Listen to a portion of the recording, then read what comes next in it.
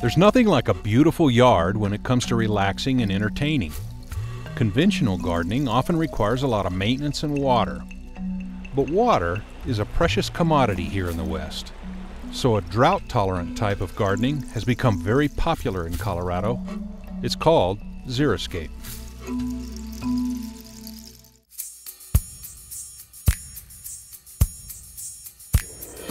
The last several years, the City of Lakewood has emphasized xeric gardening over any other kind. We're way ahead of the curve on that, and uh, that's kind of confirmed through other people in the industry who come to us for advice now, uh, all the way from Pueblo to Fort Collins. Xeric plants are those plants that are drought tolerant and require less attention than water rich flora. We've started to convert annual beds to perennial beds, to xeric perennial beds, and we're still in the process of doing that. We want to save some annual flowers for the public because everybody does love those. But in the process of doing that, we've, uh, we've also converted a lot of medians. Uh, we're in the process of still doing that as well because they get so much attention and visibility out there. Savvy gardeners are learning about xeriscaping techniques and discovering that xeric plants can be just as satisfying to grow as more traditional flowers and ground cover. Annual flowers are a great, beautiful thing to look at, but they're only something you can look at five months out of the year, and they use a lot of water. The Kendrick Lake Gardens has a huge variety of uh, species of plants now. All of those plants are drought tolerant plants. There's nothing over there that needs a lot of water. So anything that people are looking at is something that they can grow under a low water regime.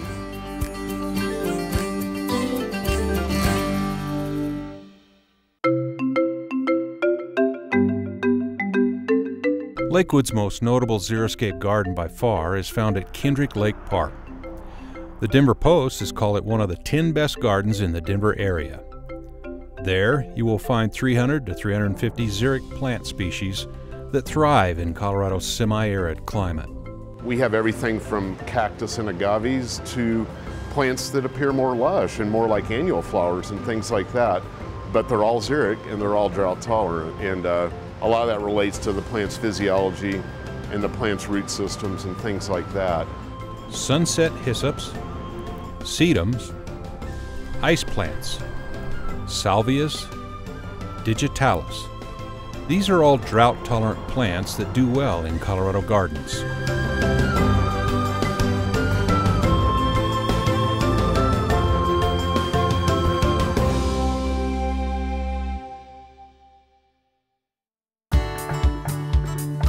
Lakewood factors in seven steps when it builds a xeriscape garden. Planning and design, soil improvements, installing efficient irrigation, zoning of plants, mulches, turf alternatives, and appropriate maintenance.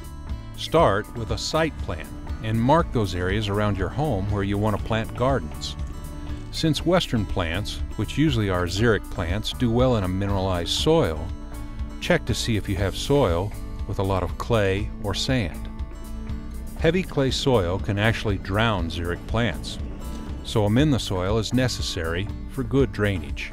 My first tip to anyone that wants to grow a xeric garden is, is find out how your soil drains. Uh, xeric plants don't like to have roots that are wet all the time. They need water like any other plant, but they like the water to drain away. And uh, xeric plants, where they grow naturally, that's the type of soil it is. It's a highly mineralized soil, which is a soil that has a lot of rock and a lot of gravel and not a lot of organic stuff, compost. Very good way to kill xeric plants, put a ton of compost on it. So it's completely opposite from what most people are used to doing with their traditional garden plants. You can water a xeriscape garden easily by hand or with an automatic sprinkler system. Xeric plants need water for a good start, but not as much water as annuals. When people hear xeric and they buy xeric plants, they want to go and plant them and not water them. They need water for at least the first six months to get established, whether it's xeric or not.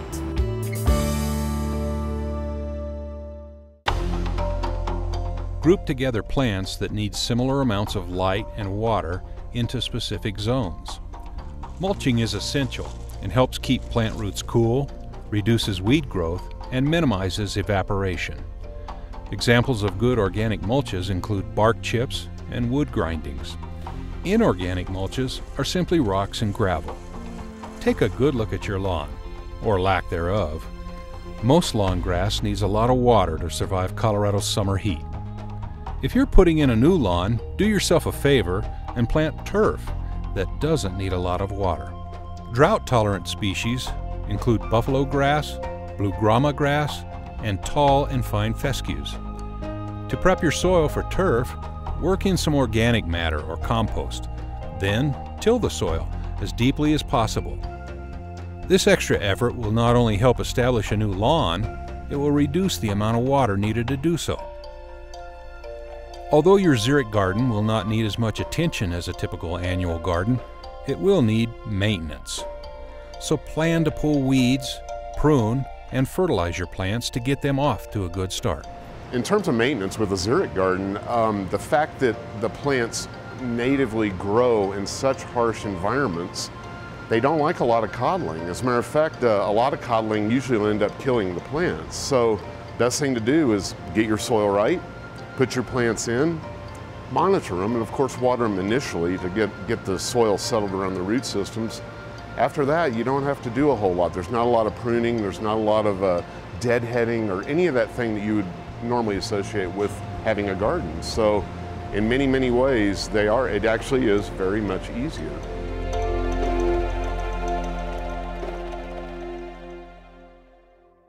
Lakewood has a helpful guide on its website to assist you in creating a xeric garden. The Principles of Xeriscaping offers detailed information for designing a water-wise garden. Call us and ask us, and we'll be glad to help you in any way. The, the deeper you can work your soil, the deeper the plants will root in the soil. That gives the plants resiliency over time to weather drought and weather heat and all these things. So besides using us as a resource, realize the environment that you live in. And what I mean by that is the whole front range from Wyoming to New Mexico is a dry, semi-arid desert environment. Living with your environment instead of trying to fight your environment is a much happier place to be as a gardener.